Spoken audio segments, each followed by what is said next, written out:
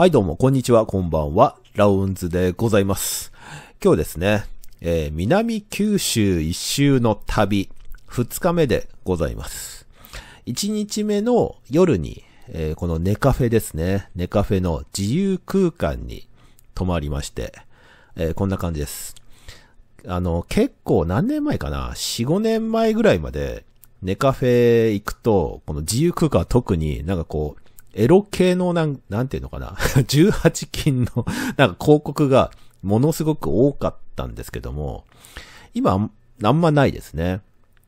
うん。で、この高さもね、プラスアルファで高さが、こう今やってますけど、プラスがね、プラス高さが上がってるので、見えにくい。以前、なんか一番初めて泊まった鹿児島の市内だったかな？ところは、あの、立ち上がると、この高さがさ、目線、なんていうか、あの 横のこの壁がね、なんていうのかな、こう、低くて、立ち上がると、目、目、目線で隣の部屋を覗けるみたいな感じだったんですけど、変わりましたね。はい。ということで、えー、続いて朝ですね。はい、ということで、おはようございます。ラウンズでございます。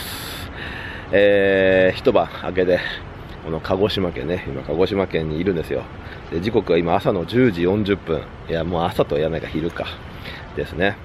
えー、時間的にね、何時間やってた ?11 時間半ぐらいですね。要は12時間パックで入っておりまして、今日日曜日、今日って今日月曜日なんだけど、日曜日から入ってたのよ。で、料金がナイトパック適用なんだけど、えー2700円となっておりまして、まあ、こんな感じですよ。結構い席移動してるでしょ？なんか不具合あったね。なんかサーバー不具合みたいな。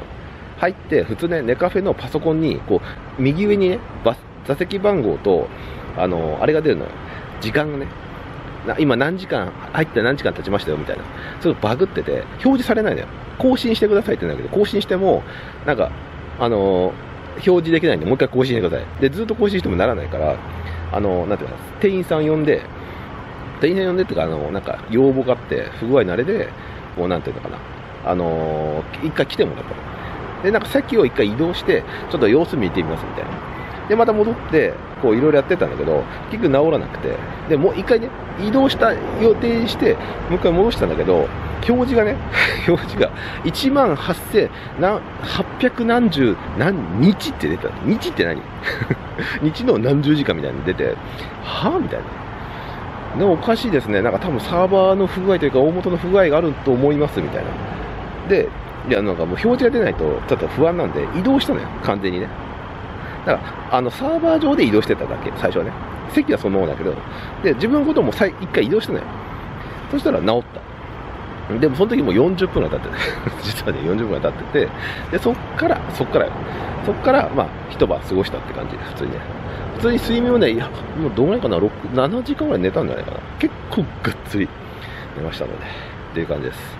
で、今からですね、えっ、と、今まあ、熊本寄りの、こう、鹿児島県だけど、熊本寄りっていうのはどちらかというとね、ちょっと地理的に詳しくないけど、ちょっと、まあ、鹿児島県に入ってちょっとっていうのは、のところというか、うん、まあ、地元じゃないんでね、ざっくりですけど。で、今回またさらに鹿児島の方にどんどんどんどん下っていってというか、どんどん南に下って、今からですね、あの、カツオの町というか、カツオで有名な、何市や、何市やったっけ？ちょっと、ちょっと今出てこないけど。で、そっちに移動してですね、えーカツオのたたきとか、カツオ定食というか、あのーご飯をね、食べたいと思います。今ちょうど10時43分でしょ。ここは1時間半ぐらいで作らせて、ちょうど着いたらお昼ぐらいということで、ちょっと楽しみにして移動していきたいと思います。ので、あ、ちょっと今友人がね、友人、自分先出ちゃったから、友人の待ってたんですけど、今友人も戻ってきてみたいなので、あのー今から準備していきたいと思います。準備というか普通に今から出発です。はい。えーレッツゴー。はい、ということで、えー今日のお昼ご飯、カツオの町っていうのかな、えーやってきまして、いろいろ見つけた、見つけた、検索した結果、このね、大徳、大徳ですね。大徳というお店で、カツオの料理食べてみたいと思います。はい。ということで、えー、二日目のお昼ご飯やってきましたのは、枕崎名物料理、大徳でございます。Google マップとか、まあ、ネットのね、口コミなどいろいろ見てると、ここがね、美味しくて、あのー有名ということでやってきました。他にも候補はあったんですけどね。うん、なんとなくここにピンと来たんで、ここに来たっていう感じですかね。メニューとか価格見ても、あの別にそのめちゃくちゃ高いとかっていうわけでもなく、うん、あのお手頃な価格からね、定食とかいろいろ入れても、なんていうのか、そんなにこう高い価格でもないのに、まあね、美味しいという、あの、口コミとかいろいろあって、やってきました。で、枕崎市っていうのは、まあ、鹿児島の中でも、もう、カツオで有名というか、全国的に実は有名で、2022年度のカツオの水揚げ量のランキングとしては、日本第3位だったりするんですよね。一本釣りだとね、日本1位じゃなかったかなといった感じです。で、自分が注文したのはこの一番最初のメニューにあった枕崎カツオお船戸飯スペシャルってやつですね。で、これ今は、だし、だしかけてます、だし。いや、か、あの、食べ方書いてあるのよ、これ。おすすめの食べ方例と言ってね。うん。で、まず、お、あの、ね、丼におつゆをたっぷり注ぎって、注いでよく食べますみたいな。これこれ。これを見ながら、あの、食べましたね。えー、これがね、混ぜた感じです。あの正直言うと、うまかったです。カツオがこう、ちょっとね、細かく入ってるんですけど、カツオの味とこの出汁、カツオ出汁まではないけど、美味しかったですね。本当に。で、これお店の中の感じです。あんまりこうね、めちゃくちゃ広いわけじゃないんですけども、あの、店員さんもすごい優しくてね。で、あの、何、サインか。サインもね いろいろありました。自分分かったのが、えー、っと、これコロッケさんかな？左下にコロッケさんと猫ひろしさんのぐらいかな。パッと見た感じ、ちょっと自分は、パッとわ、わかん、わかんなかったですね。で、ちなみにこれが、友人が食べた、えー、メニュー、メニューです。あの、幻の豚丼トン、トン丼と、ん？トン丼っていうのかな？うん、豚丼と、あの、単品で、あの、あれを食べてました。カツオのたたきをね。一切れもらいましたけど、カツオのたたき。めっちゃうまかったです。はい。えー、お昼ご飯を食べたら、もちろんお土産ですね。あの、もうこの街をね、離れる感じなので、ね、せっかくカツオの街なので、カツオ節を買いました、ここでね。削りたてカツオ節買いました。そして、えー、これ2、3店舗目か。3店舗あって3、あれ2店舗目の写真がないんですよね。ここでは確か何も買って、いや、なんか1個買ったかな。ということで、えー、今から移動ですね。でも走ってる途中に、あれこれなんだと。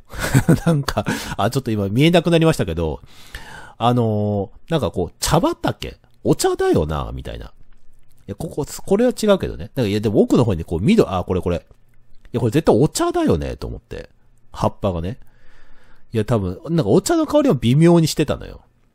だから、あれ、これ絶対お茶でしょみたいな感じで、これ、いや、これは、これは違うかなうん。で、走って見てたんですよ。で、あ、そっか、まだ時間的にね、あの、あね、もしかしたら道の駅にお茶があるかもしれないと思って、検索して行ったのがこれ、えー、道の駅っぽいところにお茶があったんでお茶買いました。お茶と芋が有名なんで、紅はるかが有名なので芋けんぴとかあって買いました。で、次に行ったのがこちら。えー、これ真ん中にはタックルベリーですね はい。で、行ってきたんですよ。はい、ということで、続いてやってきましたのはこの鹿児島ね今ブロブロしてるんですよ。漫画倉庫はまだ行ってないけど、まあ、釣り具や中古リサイクルショップタックルベリーとかいろいろ行ってましてですね、えー、続いてやってきましたのは釣り具のポイント鹿児島谷山店でございます、えー、近くにイエローハットとかローソンとかあるとこですね。はい、あとワークマンもあるのか向こうに。うんまあ、ちょっと一つ入ったとこですけどもまあ、ちょっと暇なんで 夜まで暇なんでね、釣り具屋巡りをやっております。はい、ということで、ちょっと行ってみましょうか。そして、ポイントの次に行ったのが亀屋ですね。あの、同じ鹿児島谷山店っていうのかなあの、谷山という地名というのか、わかんないですけども、まあ、車で1分ぐらいでしたね。ポイントから1分ぐらい しかも、どっちまで店舗結構でかかったんですよね。はい、ということで、晩ご飯にやってきました、とんかつ屋さんでございますけど、入り口がこっちなのかどうなのか。こっちもいい、あ、全然違うわ。全然違った。入り口は国道側になります。正面にお回りください。というので、とんかつ屋。まあでもそんなに多くね。行ってみましょうか。とんかつ屋。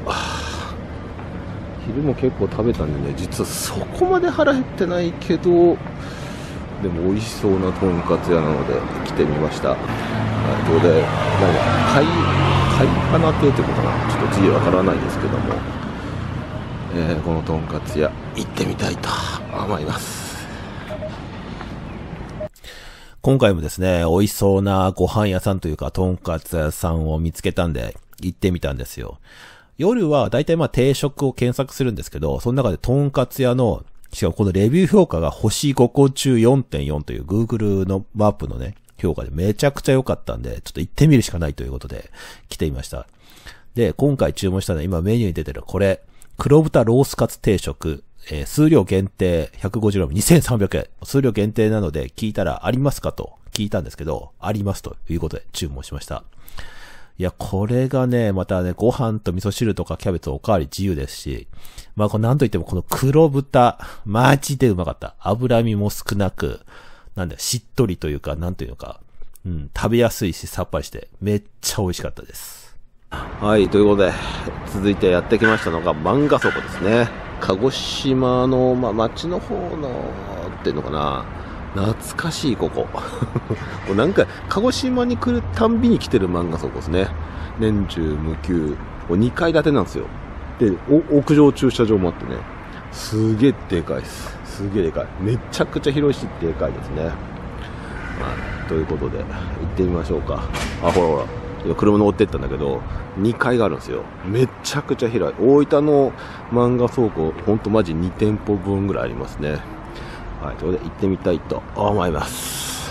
はい、ということで、えー、今日の寝床にやってまいりました。今日はですね、鹿児島市内の快活クラブ、えっ、ー、とね、街からちょっと離れたところのこの駐車場があるところというんですかね、吉野家、あとそこにしゃぶしゃぶバイキング、しゃぶ派っていうのかな。あとここがなんだ？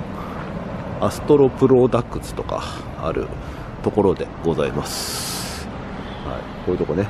共有駐車場みたいなとこですね。駐車場がある快活クラブが鹿児島市内っていうのかな？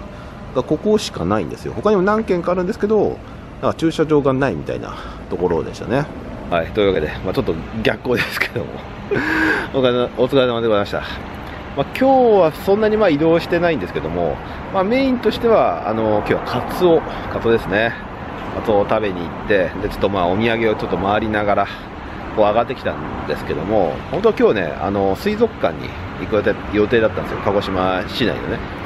ちょっとまあ時間的にちょっとお土産屋さん寄ってたらちょっと時間が下がってしまってちょっとギリギリになったのであの今日は行かず、まあ、明日の朝から朝からというかまあ起きてご飯食べていくか、まあ、起きてそのまま行くか、まあ、ちょっとまだ検討中なんですけども、まあ、明日行こうかなと思っております、えー、ということであそう昨日もねあのちょっとネガフェながらちょっと動画回そうと思ったんですけど結局回せず。あの真隣にあの人が入ったねだからちょっと 全くねさすがに隣に入るとちょっとね小声でもちょっとね 真隣なんで。たまたまこう空いてたところにこうこういね、1, 個1席ずつ空いてたのにちょうど1席ずつ埋まってて多分その間に入ったのが自分の隣にも入っちゃったっていう感じでしたね。はい、ということで今日はあのこの快活クラブ。えっ、ー、とねえー、と何店だったかな、まあ、どっか店舗で店店舗名変えておきますけども、横でゆっくりまた休みたいと思います。今日も12時間パックですね、おそらく。ゆっくり寝れますね。はい、ということで、えー、ゆっくり中に入って、あ、入って、とりあえず中に入ってゆっくりしたいと思います。